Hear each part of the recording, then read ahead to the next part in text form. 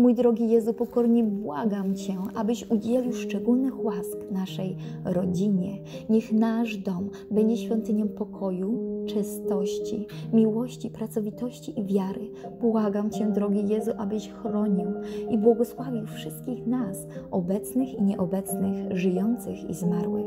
O Maryjo, kochająca Matko Jezusa i nasza Matko, módl się do Jezusa za naszą rodzinę i za wszystkie rodziny na świecie, aby strzegł kołysek noworodków, szkół dzieci i ich powołania. Błogosławiony święty Józefie, czcigodny opiekunie Jezusa i Maryi, wspieraj nas swoimi modlitwami we wszystkich potrzebach życia. Uproś u Jezusa tę szczególną łaskę opieki nad naszymi domami oraz przy łożu chorych i umierających, abym z Maryją i z Tobą mogła odnaleźć w niebie naszą rodzinę nienaruszoną w Najświętszym Sercu Pana Jezusa. Amen.